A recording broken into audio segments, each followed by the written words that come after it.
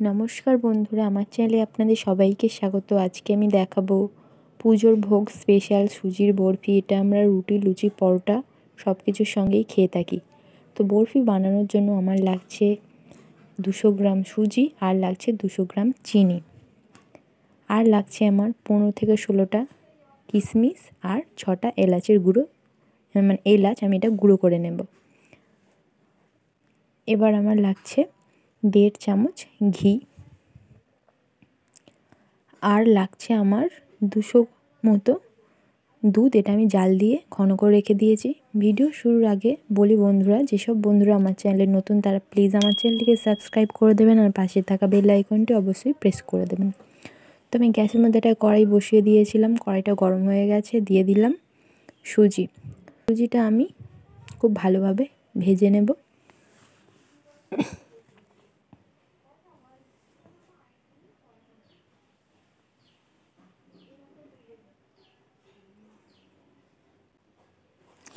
এইভাবে অনেকক্ষণ ধরে ভেজে নেব। তো আমি যে প্রসেসে সুজির বরফিটা বানাচ্ছি, আপনারাও বানাবেন, খুব টেস্টি হবে। তো সুজি থেকে হালকা সুন্দর একটা গন্ধ বেরোলে আমি দিয়ে দিচ্ছি ঘি।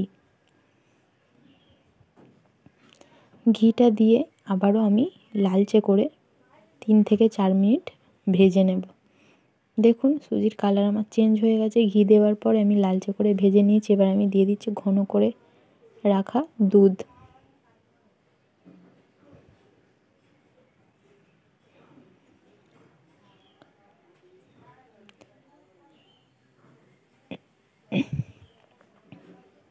দুধটা দিয়ে একটু সঙ্গে সঙ্গে নাড়াচাড়া করে দিতে হবে যাতে না দলা পাকিয়ে যায়।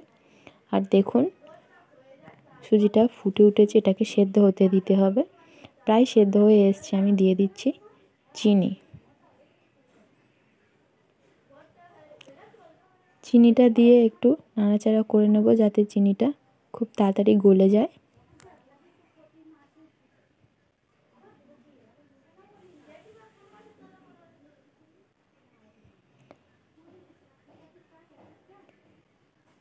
তো এটা ঘন হয়ে এসছে।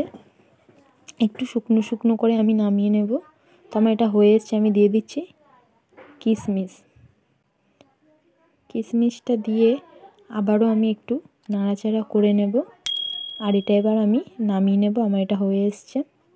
দেখুন, সুজিও সেদ্ধ হয়ে গেছে। এইভাবে শুকনো শুকনো করেই নামাতে হবে, নাহলে বরফি জমবে না। তো এরপর দিয়ে দিচ্ছি এলাচের গুঁড়ো। আমি ওই এলাচগুলো গুঁড়ো করে রেখেছিলাম। এলাচের গুঁড়ো দিয়ে বেশিক্ষণ রাখা যাবে না, তাহলে এলাচের গন্ধটা উড়ে যাবে। তো এইভাবে আমি নাড়াচাড়া করে নিলাম, আর গ্যাসের ফ্লেম অফ করে দিয়েছি, এবার এটা আমি নামিয়ে নেব।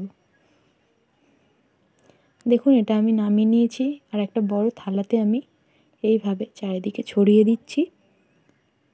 আর একটু খুন্তির সাহায্যে সমান করে দিচ্ছি। আর এইভাবে এটা পনেরো মিনিট রেখে দিতে হবে যাতে এটা ঠান্ডা হয়। দেখুন, আমি পনেরো মিনিট পর ফিরে এলাম আর এটা প্রায় ঠান্ডা হয়ে গেছে। এবার আমি ওপর থেকে দু চারটে কিশমিশ দিয়ে দেব। যাতে ডেকোরেশনে খুব সুন্দর লাগে। দেখুন, আমার পুরোটা কিশমিশ দেওয়া হয়ে গেছে। এবার আমি এটাকে বরফির আকারে কেটে নেব। এইভাবে বরফির আকারে আমি কেটে নেব। আমার এই ভিডিওটি যদি আপনাদের ভালো লেগে থাকে, তাহলে কমেন্টের মাধ্যমে জানান। বরফিটা কিন্তু গরম গরম মানে কাটিং করলে হবে না, এটা ঠান্ডা হয়ে গেলেই কাটিং করতে হবে। তো একদম ঠান্ডা হয়ে গেছে। দেখুন, আমি বরফিগুলো ছুরির সাহায্যে তুলে নিচ্ছি। এইভাবে তুলে নিতে হবে। আর আমার ভিডিওটা যদি ভালো লাগে, একটা লাইক করুন। আর আমার চ্যানেলটিকে সাবস্ক্রাইব করে দিয়ে পাশে থাকা বেল আইকনটি প্রেস করে দিন নতুন নতুন ভিডিওর আপডেট পেতে। তো দেখুন, আমার সুজির বরফি একদম রেডি আপনারা এটা পুজোর ভোগ হিসেবেও ব্যবহার করতে পারেন।